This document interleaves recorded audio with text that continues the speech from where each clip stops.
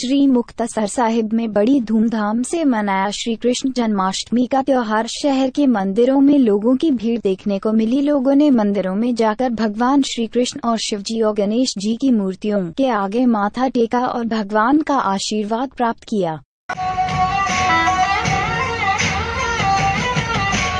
जोगीनाथ मेरा जोगीनाथ जोगीनाथ मेरा जोगी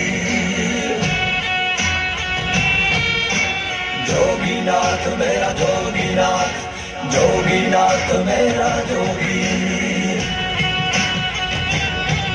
ਓ ਪੂਸਲ ਪਿੰਡੇ ਵਾਲਾ ਨੀ ਨਾਥ ਮੇਰਾ ਜੋਗੀ ਨਾਥ ਜੋਗੀ ਨਾਥ ਮੇਰਾ ਜੋਗੀ ਨਾਥ ਗਲ ਸਾਮਣ ਕਹਿੰਦੀ ਮਾਲਾ ਨੀ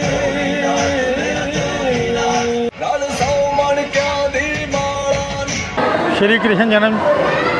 ਦਿਵਸ ਤੇ ਅੱਜ ਰੋਣੀ ਨਛੱਤਰ ਦੇ ਵਿੱਚ ਸ਼ਾਮ ਨੂੰ 7:22 ਮਿੰਟ ਤੇ ਅਸ਼ਟਮੀ ਲੱਗੀ, ਜਿਹਦੇ ਖੁਸ਼ੀ ਦੇ ਮੌਕੇ ਤੇ ਕ੍ਰਿਸ਼ਨ ਜਨਮ ਦਿਵਸ ਬਹੁਤ ਹੀ ਧੂਮਧਾਮ ਦੇ ਨਾਲ ਮੁਕਤਸਰ ਸ਼ਹਿਰ ਦੇ ਵਿੱਚ ਮਨਾਇਆ ਜਾ ਰਿਹਾ। ਔਰ ਸੰਗਤਾਂ ਦੇ ਵਿੱਚ ਉਸਤਾਹ ਪਰਮਾਤਮਾ ਦੇ ਨਾਮ ਦੀ ਧਰਮ ਦੇ ਪ੍ਰਤੀ ਸ਼ਕਤੀ ਦੇ ਕੇ ਬੜਾ ਮਨ ਖੁਸ਼ ਹੋ ਰਿਹਾ ਕਿ ਪ੍ਰਭੂ ਭਗਤੀ ਬਣੀ ਲੋਕ ਕਲਯੁਗ ਦੇ ਵਿੱਚ ਵੀ ਕਿਵੇਂ ਵੱਧ ਰਹੇ ਆ। ਤੇ ਅਸੀਂ ਸਭ ਨੂੰ ਇਹੀ ਦੁਆ ਕਰਦੇ ਆਂ ਪਰਮਾਤਮਾ ਅੱਗੇ ਇਹੀ ਅਰਦਾਸ ਕਰਦੇ ਆਂ ਕਿ ਭਗਤੀ ਭਾਵ, ਪ੍ਰੇਮ ਪਿਆਰ ਇਸ ਤਿਉਹਾਰ ਦੇ ਮੌਕੇ ਤੇ ਜਿਵੇਂ ਵੱਧ ਰਿਹਾ, ਹਰ ਧਰਮ ਦੇ ਲੋਕ ਆ ਕੇ ਇੱਥੇ ਮੱਥਾ ਟੇਕ ਰਹੇ ਆ, ਸ਼੍ਰੀ ਰੁਗਨਾਥ ਮੰਦਿਰ ਦੇ ਵਿੱਚ, ਜੋ ਕਿ ਬਹੁਤ ਹੀ ਖੁਸ਼ੀ ਦੀ ਗੱਲ ਆ। ਪਹਿਲਾਂ ਤਾਂ ਅਸੀਂ ਸਾਰਿਆਂ ਨਾਲੋਂ ਪਹਿਲਾਂ ਸਾਰੇ ਲੋਕਾਂ ਨੂੰ ਕ੍ਰਿਸ਼ਨ ਜਨਮ ਅਸ਼ਟਮੀ ਦੀ ਬਹੁਤ-ਬਹੁਤ ਵਧਾਈ ਦਿੰਦੇ ਆ ਬਹੁਤ ਹੀ ਖੁਸ਼ੀਆਂ ਭਰਾ ਆ ਦਿਨ ਹੈ, ਜਦੋਂ ਕਿ ਕ੍ਰਿਸ਼ਨ ਮਹਾਰਾਜ ਜੀ ਨੇ, ਜਿਨ੍ਹਾਂ ਨੇ ਪਾਪ ਦਾ ਅੰਤ ਕੀਤਾ ਤੇ ਬਹੁਤ ਹੀ ਵਧੀਆ ਜਿਹੜੇ ਹੈਗੇ ਆ, ਉਹ ਸਾਨੂੰ ਬਹੁਤ ਹੀ ਵਧੀਆ ਜਿਹੜਾ ਸਾਨੂੰ ਹੈਗਾ ਰਾਹ ਦਿਖਾਏ ਸੱਚਾਈ ਦੇ ਤੇ ਧਰਮ ਦੇ ਵਾਸਤੇ, ਵੀ ਧਰਮ ਦੀ ਰੱਖਿਆ ਕਿੱਦਾਂ ਹੁੰਦੀ ਆ।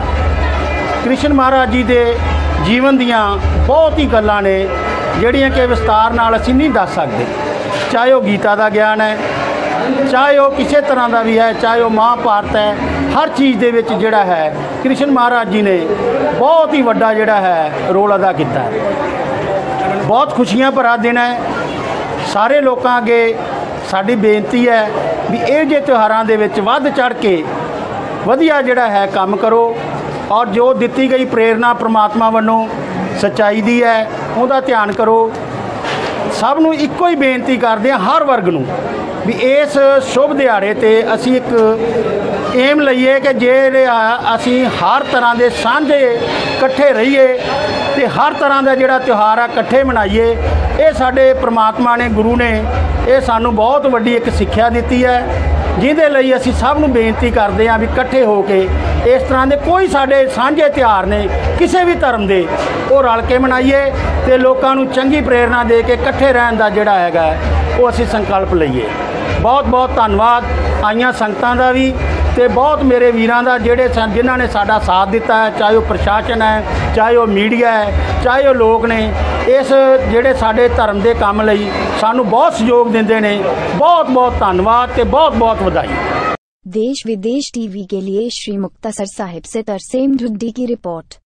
ਨਵੀਆਂ ਅਤੇ ਤਾਜ਼ੀਆਂ ਖਬਰਾਂ ਦੇਖਣ ਲਈ ਸਾਡੇ YouTube ਚੈਨਲ ਦੇਸ਼ ਵਿਦੇਸ਼ ਟੀਵੀ ਨੂੰ ਲਾਈਕ, ਸ਼ੇਅਰ, ਸਬਸਕ੍ਰਾਈਬ ਕੀਤਾ ਜਾਵੇ।